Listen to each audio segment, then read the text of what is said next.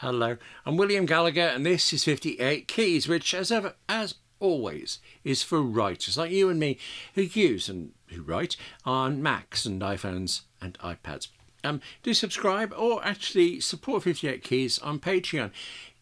Well, because there is so much to talk about, it's just, you see me sitting here. In this case, in this case, tell you what, no messing, no building up drama. Let's just get straight to the one key point, which is this. This is a Finder window on the Mac, and this is the sidebar. Uh, it's a list of shortcuts, isn't it, to different folders, different hard drives, different servers, even, and yours will look different to mine. But there is one thing we both definitely have recents. Click on that, and you will see a list of all your recent documents. So uh, if you save something and you can't find it anywhere, there you go. It's right there in recents. This came up in a 58 Keys live writing sprint last Sunday. Uh, it's a writing sprint for Patreon members. And it's something even long-time Mac users tend to miss. I mean, I don't remember when I first noticed it. And I, I can't conceive of when Apple must have slipped it in, introduced it. But I do know that it has saved me a fair few times. Now, that's it, but there's a lot more to say about recents in general, and even a little bit more to say about this particular recent section in the Finder window. Plus, there are two warnings to. Oh, come on, let me have some build up to drama. Um, the two warnings about recents, they're small, but they are kind of important. You need to know them. The first is that once or twice I've gone to look in recents for something and not found what I'm looking for and I don't know why. If you do know why, I'd be really grateful for your telling me in the comments below. And the other thing is, it's kind of similar. You may look and not find, but it's because as you look at your Mac's Finder windows, you might not see recents at all. You won't see the heading for it. It is there, but it could be hidden. In case it is, look for the word Favorites, probably at the very top of that sidebar, and click on the disclosure triangle uh, over to its right there. And there you go. There's a long list. You might actually have half a million tons of other things in favourites, but somewhere in there you will have recents. And following two warnings, let me go the other way. Let me give you a nice thing, right?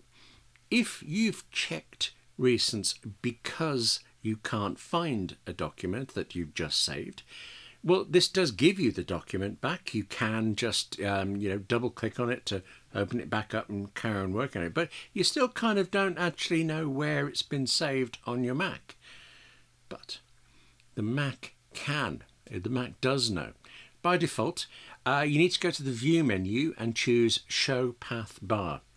If you do that, the bottom line of the window changes it. shows the path. The this folder begat that folder, begat that folder, and all this stuff, so on and so on, down through the Mac folders, down to your document. Um, I had this set anyway. If you do already, if that path bar is already showing, then there isn't a show path bar option. There's only a hide path bar option. It's purely personal preference whether you have it showing or hiding. But I like how when it's visible, you can you don't just see the root of things you can click on any part of it. So the document itself yeah but also the folder above it the folder above that. Even if it's a long list and you're going to have to squidge about you're clicking. Whatever there is in the path you can click on that and that bit will open.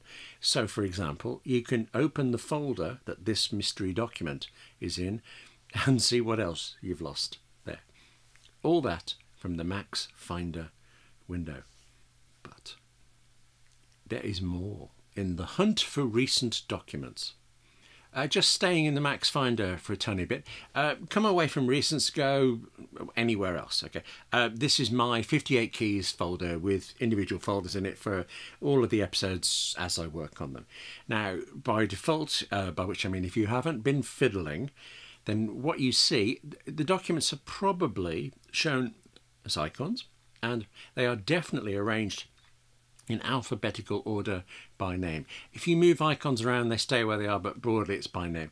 If you click here and choose as list though, you not only get the documents listed without those whacking big icons, you get them listed with all sorts of other information. I mean, seriously, all sorts. You see things there, you can keep adding them to it. And actually, you do add to it. I'm afraid it's so long since I added to it and changed this setting and mucked things around, I can't remember what it's supposed to look like when you buy a Mac and get it straight out of the box. So, how about this? Let's let's assume that you don't have what I want to show you, what I need to show you. Here's how to get it. Right click in the bar next to where it says name, and you'll get a pop up list of things that you can have shown in this window. Make sure date modified is ticked. And now, one of the columns in this window will be called date modified. Click on those words, date modified, and then the whole list, everything in the uh, that window, the whole list of documents, it's switched from alphabetical to chronological. Um, I should say there you, you saw this. There's also a date created if you want that, but date modified is better because it arranges things, arranges documents by when you last did anything with them, when you last opened them, instead of just you know whenever it was you first made them. Um, also, while we're here, if you don't happen to know this already, if you don't happen to have fiddled around with this as much as I obviously have, notice please that um, the selected column, in this case date modified, it well it's slightly in bold so you can see which is the selected one, but also has a little tiny down arrow next to it. Click on that down arrow and the down arrow becomes an up arrow and the contents of the folder are rearranged in reverse order of date modified. One more, one more thing about the Finder and Recents. Click on the Apple menu. So We've been in the Windows, we're now up to the Apple menu, and you will see right there a recent items list. It shows you the last 10 documents you opened from any app, and it might be particularly useful because it also shows you the last 10 applications you used. Also servers, actually you see that list at the bottom there, servers, although as you see I've obviously not connected to any servers lately. I feel I'm missing out. Um, also notice that there is a clear menu option. If you ever want to, for some reason, you can choose that, and this whole this whole menu blanks out, resets until the next app you open or the next document you open or save. Um, and this clearing, by the way, clearing the menu, it only clears this menu. It doesn't change the recents folder on your Mac. Speaking of which, okay, this is the Mac, but it's actually it's all pretty much the same on the iPad and the iPhone. Different, same idea, different ways of doing it. On those, to see any recent documents made in any app, you need to open the Files app, and then at the foot of the Files app screen, there's a Recents button. One thing about that though, recent documents is well, it's it is it isn't really kind of a per device thing. Uh, your iPhone is going to be able to show you the recent documents you opened on your Mac and vice versa if you use iCloud Drive. If you don't, then it's all per device. Uh, but since you probably do use iCloud Drive, it's a default. When you're away from your Mac, you can open up your iPhone and from that, open up the documents you're working on most recently. It's really smooth. I like this. And speaking of iCloud, though, you could also just go to iCloud.com on your Mac. Actually, on your Mac now, it used to be you couldn't go on the iPhone, it would just try to route you to the individual apps, but you can now. Uh, Macs, iPads, iPhones, and even PCs. You log in with your Apple ID, and right there on the front page, there is an iCloud Drive section, and by default, it's showing all of your recent documents. You can click on the heading Drive, where it says Drive there, to go to a fuller listing with even more entries of recents. Or actually, if you don't, if you're fed up of recents, you can click on the ellipses at the bottom left of that window and set whether or not it shows you any recents enough with the recents. Well, not quite enough. Just three more things to show you. Starting with what every Mac app offers, and then ending up with a separate Mac app that you can buy that gives you more. First, take a look at apps in your dock. Um, there have to be certain types of apps. Apps where you create documents. So Pages, Word, QuickTime Player, but not Apple Music, Apple News, something like that. With an app like that where you create things, right click on the app in the dock and you get, there it is, the usual things like options and show all windows, but you also get a list there of recent documents. This is the 10 most recent files you opened or saved within that app. And actually, as a kind of bonus, you see there's more than 10 listed there. It's actually a list of all currently open windows as well, open documents in Windows. Uh, those are the documents at the bottom with the different icon next to them. Next, just as one example here, take Pages on the Mac and on the iPhone. On the Mac, open Pages and then choose the File menu, and there's an option right there called Open Recent. Just like the recent items list in the Finder, it shows you the last 10 documents you worked on. And it also contains a clear menu option too. Somebody at Apple must be really keen on hiding their recent histories. But okay, say you ignore that, right? And you're in Pages and you just do the regular open thing. Well, with the open dialog box in front of you, well, you can still choose recents from the sidebar exactly the same way as you did in the Finder window. And of course, this will show you many more than 10 recent documents. Um, it also shows, I really like this, it shows them to you in, in sections, handy sections. So today's recent documents, the previous seven days, the previous 30 days. And I suppose if you've been using the app long enough, then it'll start grouping older things, uh, starting off with months, it'll group them into January, February, or whatever. Again, that's on the Mac.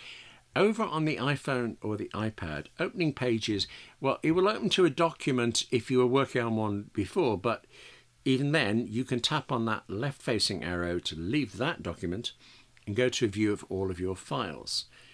At the bottom of that view, there will be the same recents button that you saw in the files menu. So this is specifically in an app and that's in every iPhone and iPad app that creates any documents at all. Just as the recent items list is in every Mac app, so this is in every iPhone app. And that would be it. Except, I don't think it's possible to talk about searching for documents on a Mac without also mentioning default folder X. Buy this Mac app, right? then every time you're in an app and you choose open or save, it wraps itself around the regular dialog box like this. And one thing in that is recent files. There's also a recent folder, very useful. Click on recent files though and it shows you the most recent 15 documents you opened in this app. 15 is more than 10. Look at the quality of information you get here. So default folder X, uh, it is better than an app's own open recent menu. It's better than, it offers more than those do but it's not as many as if you did that thing of just choosing file open and then clicking on recents in the sidebar. Only thing is with default folder X, if you scroll through the 15 that it shows, well, as you land on each one, you get this tiny pop-up window, that a pop-up preview really, which is very small, but it's often enough to show you whether it's the document you wanted to open. Plus, there's always just there's been enough else in default folder X that I've actually I've actually regarded it as an essential Mac app for at least a decade. Now at least a decade. And now those extra features include quick search. From default folder X's icon in the menu bar, you can choose the same recent files or you can choose quick search.